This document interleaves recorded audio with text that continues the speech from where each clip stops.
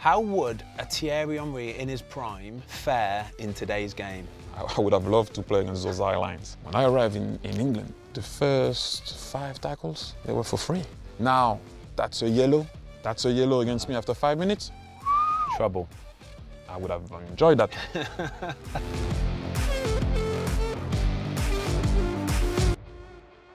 The word legend gets bandied around way too often nowadays, and I am probably one of those guys who says it a little bit too much. However, the person I'm meeting today is an absolute legend. World Cup, European champion, FA Cup, Premier League, La Liga, Copa del Rey, you name it, the list goes on. However, he has only ever scored past me just the once. I don't even think he'll probably remember it. Come on, let's meet him. Super Thierry Henry. How are you, big man? I'm good, You mate. good? How are you? You okay? Yeah, not bad, not bad. Uh, Nice houses these are, mate. Uh, what are you here for today? Do you know what you're doing, by the way? I'm here to do a night for Amazon.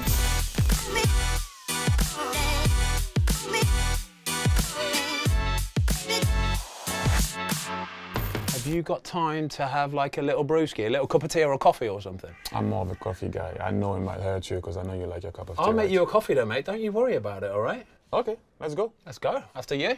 Door is shut. Oh, go back shit, home the my own door's- house. Give it a knock. Thierry, open. Keep banging, somebody open it. I think we use that anyway. That was gold. That's actually what happened at my house also when, I, when I'm not around. They changed the lock. Let's see how good your coffee is gonna be. you sure I can't tempt you into having a cup of tea? No. English breakfast Uh, tea?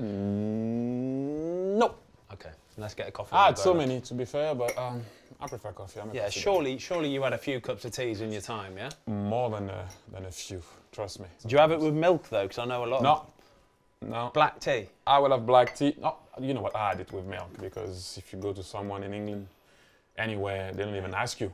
That needs to go in there. Into where? Into the Yeah, and then you, Yeah. and then you, but you can always. That's not instant granules. That's why he was a goalkeeper. This is the gold. Do you want to make me a cup of coffee? How many like And then- spoonfuls do you put in? Two or three. Yeah. And then you put the- Thierry, help. Oh, listen, come on, I- we don't do this. Take I'm, this out. I'm from out the and Midlands. We don't do this Yeah. kind of stuff in the Midlands. There we go. I think you're making me a cup of coffee here, mate. And Then water, boiled water. Come on, give it a. You, you if hold that for a second. if Hold that for a second. Oh, look, they got one of these fancy taps as well.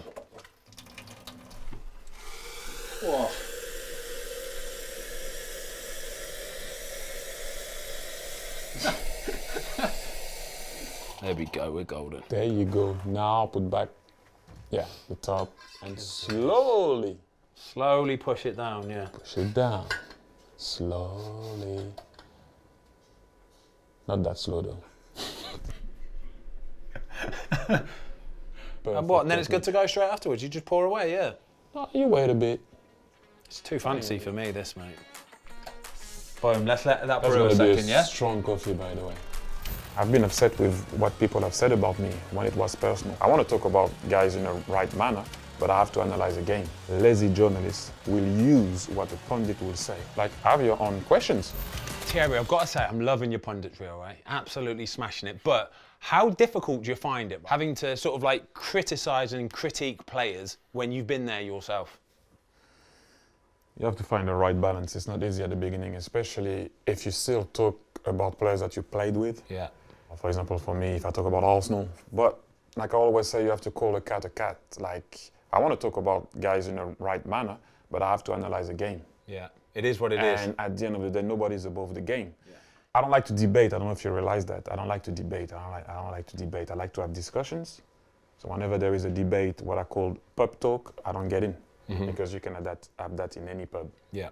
What I like to talk about is what people can't see, what we could see, and try to explain it. Yeah, you've got that little insight where you know you know the reasons why you might have missed, for example. Yeah, and he should. And I missed it, and I made mistakes. And you have to tell people something that they might not know or see or understand. When I say that, not having a go at anyone at home, I'm just saying we play at a certain level that people think sometimes that they know what it is because they kick the ball in the park. Uh-huh.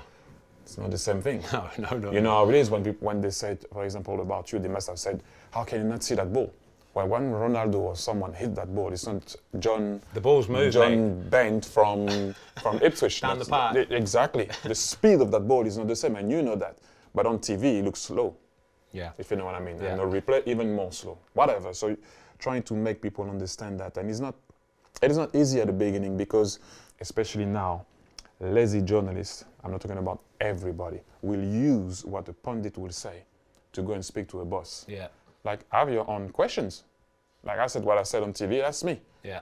Don't hide behind me Yeah. to go and say, uh, uh, uh, sorry, uh, Mr. Klopp, uh, uh, Jamie Carragher said that you. Ask your own question. And criticism, like I've been upset with what people have said about me when it was personal, Uh-huh. never when it was about the game. But people don't call you when you praise them, right? They only call you when uh, or when there is a problem. And it doesn't even make headlines. They just want No, it- sensationalism. It, it doesn't, and, and you understand that's how the work is. You just try to keep the right balance and not get too personal. It's tough for me when I do Arsenal because obviously, you know, after the game I get I get emotional. But you need to make people understand that playing football at our level, it's not easy. God, no. Can we try this coffee, please? Do we have to? Right, come on, Terry, I'll go yours first, all right? There you go. Let's try it. Oh, that looks all right. That's a good color. It does look all right, doesn't it? Yeah, that's a proper Americano in London. You don't have milk or anything in it, no? Nothing. I'm gonna have to go in the fridge. I'm sorry, mate. I can't help you. I need some milk, all right? Oh my, it's right there. Vision, goalkeeper. I in the fridge. It's right there. It's all right. It's right there, Where? right in front of you. Oh yeah, here we go. Now you get it even more where it was a goalie. What? It's good. It's good. It's good. It's good. There we go. Beautiful. Come on, should we go and have a little sit down outside? Okay, There we go. let's see. You know what? It's not bad. Oh yeah, it's not bad, is it? I went to Monaco and I arrived there with like 13 players injured. They gave me two and a half months and I got the sack. Even when we won, we had fights in the dressing room. Even when we won, you know, I know how it feels when you stop. It's you die. Okay, TT. I can call you TT, can't I? You can. We're busy mates anyway now, so I can call you that. It's fine. Um, so, assistant manager for Belgium. Yeah. Um, you've dipped your toe into being a fully fledged manager before at Montreal. Is it something you can see yourself getting back involved with? Yeah, with the uh, right project, I obviously have to be humble about it because I'm doing a job right now as an assistant coach with uh, with Belgium. But we are talking about the future. One day, maybe, hopefully, if the project is right. You know, I went to Monaco, and you guys wouldn't have known, but I arrived there with like 13 players injured. You arrive, they gave me two and a half months, and uh, and I got the sack. Yeah. Then uh, finally, I saw uh, Mike Phelan, and he, he told me, "Now you are a coach." As soon as I got the sack, I saw him actually at the Emirates, and he told me, "Now you are a coach." Uh, then I went to Montreal, um, and I came back because I didn't see my my kids for a year, which was uh, tough. It was COVID time, crazy. We played our game, all our game away from home. You have to deal with the emotion of the players, the ego of the players. You know how it is. Not going back home, staying in the same place for four months. It was tough, but still, call me crazy. Yeah. But if there is an opportunity, you know, and I have to assess it and see what's what. Um, yeah, I would love to. Think back to your playing career. Towards the end, was it something you always wanted to do, or was it kind of you retired and then it was like, actually, I might give this a go? I wasn't that guy like, you know, I can't wait to stop and stuff like that. Like, there is an evolution. And you all know how it, you know, I know how it feels when you stop. It's you die. You need something, you you? die. No, you die because you, it's not something you can do again at that level I'm Yeah. talking about. You, it's like a little death, right? My life is football. It's a state of mind for me. It's like I can't do without it. Like I need it. And so I didn't know in what shape or form I was going to come back into the game. But obviously, the closest is to is to manage, uh, sporting director or whatever it is. But managing was was, was my thing when I started. I said, okay, okay, now that's the next step, right? Because you, you want to stay involved in the game. Whatever punditry, so I need to be to be um, Active, to be yeah. active and, and in the game because that's that's that's what I like and that's that's my passion. And just think back to think back to the the Arsenal team you played and some of the legends, um, proper full-on professionals, full big big sort of egos, big guys, um, but they did it properly. Have you noticed the difference between the modern day player to what it was back then? Guys, you can't compare eras. You can't compare generations. You can't compare that. We didn't have screens. We didn't have social media. We don't have all of that. Like everything is now. People can talk directly. Players can talk directly to their to their fans and and answer to to anyone. Like we didn't have that pressure. You played in in also in my era. It's the same. Like my coach was like, shut up and play. Yeah. When I was young, like I couldn't challenge my coach. yeah. It was like, you're late, you're not playing. Yeah. Now someone's arrived late, you're like, okay, I, don't, I can't like crush his ego. It goes to, to everything. Now you can't say to a player, play a certain way. He wants to know why. People will challenge you. Yeah. We live in a generation now where you need to give him an explanation of the why. Now when you give him an explanation, he understands. If I told you when you were a player, or guys when they were players, you kind of go, okay, I need you tomorrow to play high and wide when the ball is on that side. If you talk to a new player now, they look at you like this. When you show it, they Yeah, go like, yeah, yeah. okay, I understand. And I'm like, I told you the exact same thing before. Yeah. But are we now a generation of screen and, and seeing, or can you visualize stuff? Like for example, at the youth level, they had a rule when I was at Arsenal. It was, I think, it was on the on the 16. They had a rule. Don't quote me on that exactly because I was doing there and doing my badges that everyone has to play 45 minutes. Everyone, uh, what about the guy that works hard then? And what about how do you motivate the guy that doesn't if he knows he's going to play 45 Yeah. early doors? And I understand what they're trying to do. In our generation, you've been you've been in big dressing rooms, and as you said, you mentioned the the, the, the team that I played for. Even when we won, we had fights in the dressing room. Even when we won. So now I see guys like, hey, he got upset because yeah, he got he got upset because he wants to win. So you know when you said to me a minute ago, people say I'm crazy for wanting to get back into management? Mm. Yeah, that's why. that's why. Yeah, but you know what? It's it's yeah, it is. It is not easy, but you have to understand that it's not the same generation. Like I had to go and meet this, the, the the the old generation when I was young. Now I'm old, and I have to go and meet the young generation. You have to do that to them. Like they skipped us. That's unfair. I said it, and I will say it loud and clear. I prefer my assists than my goals. Why? Because that's what separated me from the others. So when I was young, you know, you've heard it, put it in the box. And I was like, but that's not me. Okay, I gotta make people understand that the nine is not only a goal scorer. How can I change the game? Thierry, so one of the Premier League's greatest ever strikers. Okay, you've you've seen them all. You've been there. You've done it. You've got all the records. Is this Erling Haaland guy? Is he is he just another striker, or is he a bit of a new breed of striker? It's a new old school breed of striker. Yeah. what he does is it's a skill, it's a job, it's a profession. Like he, the only thing he wants is to score goals, Yeah. and he does it to the T. Um, I said it. I- said I think in his time at Man City, he will score. He will have a game with six goals. Oh. He will with with with the amount of uh, chances that Man City does create. Yeah. And now he smells it. And when he's going to be good on free kicks and taking penalties, just add that in it. And the normal ball that will pass through and, and all of that. I think I think he will. Will he reach a 50, 50 season, uh, 50 goal a season? Not in the league, but overall, Overall. 50 plus. Yeah, he will. He's an old school striker. I will compare him to a Shearer. I will compare him to to uh, to uh, uh, Lineker. I will compare him to Gerd Müller. I will compare him to Paolo Rossi. I will compare him to all Pippo Inzaghi, to the guys that you know. It's not normal that when the ball goes to the to the your winger, he turns his back to the game and he goes in the box. Normally, as a nine, you go and offer a solution. No, not him. he goes and sprints in in the box. And by the way, this is what I love about Haaland. He's not trying to do what he cannot do. Yeah. He knows his capabilities. I see a lot of strikers and I see a lot of players stay in your lane. Yeah. I don't want to see your weaknesses. We all know that if he goes on the left, if he goes on the right, if he starts to come in the middle and pass the ball, you're going to go, uh, not you. Stay in your lane. Get That's the the, first thing. dog. Know what you're good at, and above it, know what you're not good at.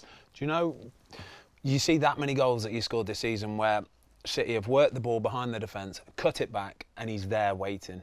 Is that is that a sort of a skill that you can teach, or is that something that you're just built with? You, you, you've No, got it from day one. You need to have it after you make sure that you're better at it. But for example, I couldn't do that.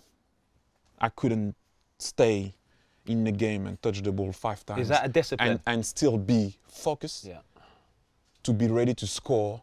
Me, you would have lost me. I would have battled with everybody. I would have argued with everybody. Like, give me the ball. I needed to touch the ball. But that was me. You know, whether if I was right or wrong, but that's him. And that's a skill. To be able to touch the ball five times per half, or sometime, whatever. The other day, I think he touched the ball five times and he scored two, or whatever he did. I mean, it's, it's, just stupid. Yeah, yeah. But like I said, it's the perfect combo. The way City creates and how it is, is the perfect combo. Yeah. What do you think is your or was your biggest quality? Your one biggest quality that just set you apart? I would say understanding that sharing is better than scoring. Uh-huh. I said it and I will say it loud and clear. I prefer my assists than my goals. Really? Why? Because that's what separated me from the others. Getting uh, getting those assists, helping the team to win. Yeah, it was because I think my background, I played as a winger. It is hurtful when you go up and down, following old school, following the right back up and down, taking the ball, breaking your neck to, to cross the ball for the striker in the six yard box to, to tap it in, and he gets the. Pr- he, I'm, I'm like, wait, whoa, hello. I'm like, uh, so I was like, okay, that's a skill, okay, to do that. Okay, how can I make people realize that you can do both? So yeah, then you have to do it. yeah. So when I was young, you know, you've heard it, put it in the box, striker, first post. Get it in the mixer. And I was like, but that's not me. Yeah. But I couldn't say it because of what I said before. I couldn't say it. You said, you said that you don't play, or your coach was like, I said, first post run. So you're like, okay. But I wasn't, then you could see my weaknesses, but I couldn't challenge my boss. Then George Weah, Ronaldo, Brazilian Ronaldo, and Romario. So I was watching those guys and I'm like, boss, you're lying. Those guys step out of the box. Did you? Would you say that? Would you have Yeah, to say to, to my, well, I was a bit like that earlier, early doors. I was like, boss, you're lying. You can score goals if you're not in the box. Mm. Because now I could, I had guys that I could say, it was like, yeah, but they're them. So I was like, okay, one day you will see. And then obviously you work and you fast forward and, and you can do it. But then suddenly now, I'm like, how can I change the game? So I'm looking at it and I'm like, okay, I gotta make people understand that the nine is not only a goal scorer. If you that, be you, that's good.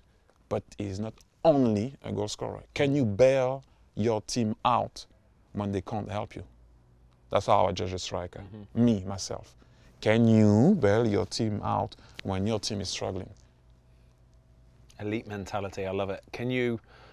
Can you pick one Premier League goal that you've scored that stands out above the rest? Your favourite? I've got one in my mind. I've got one in my In mind. In the Prem? Yeah. But I scored, you know what? I, I, I thought you were going to say I scored a lot of goals. no, it's not that. It's can not I? that. Can I give you mine? Can I give you Yeah, mine? go on. So, Man United, Barthez in goal. Yeah. I knew you were going to say that. The back to, but it's just you, you've got you've got your, your French teammate Barthez in goal, and he's he's just baffled by how quickly you've managed to get the ball up, tur- like dip it over him, turn. You just know where the goal is. That's the beauty of it for me. you play at Highbury, right? So people go and buy cameras, and we have it all. The best camera you have is your, it's yours, your brain. You take picture when you blink. That's why when you train at the stadium and you repeat, you know where you are. I knew where I was at Highbury. I knew. I just, I just knew. Yeah. Then after, if you talk about the goal, this is this is uh, this is why I like a goal. I need to see that you thought about it before. And I scored goals where I had to react, right? Because I had to react. It's, it's a reaction. Great strikers scores great goal also when they have to think. This is why I, I separate great strikers and just an, a, a, normal striker. When when I think it's Gilles Grimandi that gave me the ball. When Jim, Gilles Grimandi gave me the ball, I was like, the ball was running. I'm like, I can't turn. So what's the next move? Right? So I said, I'm gonna flick it. When I flicked it, I got I can't hit it hard because I'm falling. So I said I'm just gonna guide it up. And he went in. And I tried so many stuff at Highbury where the ball went uh, in the car park and stuff like that, but there was a thought process into it. Then you need to be equipped to execute it. That's a different ball game. That's why you work. We're talking in split training. seconds here, by the way. Yeah, but that goes quick. That's what I'm saying. But I like a, I, I like a thinker, and I used to love to think about what I was doing. It's, it's, it's vital because then I have an advantage already. I'm already equipped, I can execute, right? And I'm fast. And I think. So I'm always going to be ahead of you. Yeah. Oh, I've got goosebumps here, Thierry. That's incredible. Because it's cold. Centre back didn't want to come. And when they came, then you are in my garden. It's my mm. kingdom. When I'm there in my house, I'm not polite. I'm here to kill. You played in an era where some of the best centre backs this country's ever produced. You know, you've got John Terry's, Rio Ferdinand, even people like Nemanja Vidic, Jamie Carragher. How would a Thierry Henry in his prime fare in today's game when you've got the the big teams, especially, they they play sort of like fullbacks, wingers who just get forward and leave a lot of space in behind. Well, it's it, well the team that wants to play, the team wants to, that wants to attack. Uh, yeah, I, I would have loved to play against those high lines. First and foremost, if you go back, in my time, they were like to kick you. How do you deal with that? Was, that- was that something you kind of Well, look you find to? a way. You find a way. You learn how to protect the ball because when you have Marcel Desailly behind you, Rio Ferdinand, or, or, or Martin played with me, thank God for that. Um, but the rest, you can name them all. When I arrived in, in England, you know, the first five tackles, they were for free. Yeah. Elbow in your face. Now, that's a yellow. That's a yellow against me after five minutes. Trouble. I would have enjoyed that. but it is not my time. Let's go back. No, you, you find a way. So my way was this. I learned how to play back to the game. So I was like, okay, how am I going to make sure that nobody's going to notice my weaknesses? I wasn't a Didier Drogba. Didier, Didier was outstanding at keeping the ball, shielding people. I wasn't a Shearer. Mm. I was not a Duncan Ferguson. I was not. I was not. I wasn't that. So I said, okay, I'm gonna make my usual run from the middle to the left more often than not. So now I could feel that this, the, you know centre backs they don't want to go there. Even if the right back is not there on TV, it looks like the right back didn't come back. Yeah. this is why sometimes when I see that Trent Alexander-Arnold is getting killed, sometimes also go and cover him. He can help out a bit. Step out. Yeah, that'd No, be no, nice. no, no, no, no, no, no. You know, you played with guys that would refuse to go out there because they knew Yeah. they were going to get exposed, and on match of the day, they would have been. No, no, no. Oh, the right back. Oh, my, my right back didn't cover, you know. So um, he's not there. He goes up all the time. So I know that centre back didn't want to come, and when they came, then you are in my garden. Yeah. Here Uh, we it's, go. my, it's my kingdom. When I was staying, not moving, then they're the king and I'm, I, I'm, I'm visiting. Yeah. Now come in, come, come, come, come, come. Let's go there. Sometime I can come in your house. Then I might, I might do something, but I'm not in my house. I'll be polite. But when I'm there in my house, I'm not polite. I'm here to kill.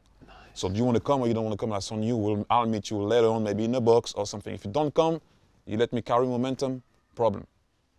That's how, that's how I'm not saying he always worked. Understand me well. I'm just saying that was my my my, my mindset. Whether I play against Desailly or I play against Taggart or Matt Elliott at Leicester, it didn't matter. Big Gerry Taggart. I love it. I love you've just name checked Big Jerry What- Taggart. the- those guys were rough. Animals. But you know, people always ask me the, the, the toughest opponent and stuff like that. And I named one time Ledley King, and people was like, "Oh, Thierry Henry said Ledley King was." I named I named Ledley King, and I named a lot of defenders. For me, the best defenders are the ones that don't tackle, mm-hmm. don't foul you, and and yet they take the ball and they bring you somewhere where you you're like, well, where's the goal? I'm I'm already at the corner flag. Well, like Van Dijk used to do at one point, where Yeah.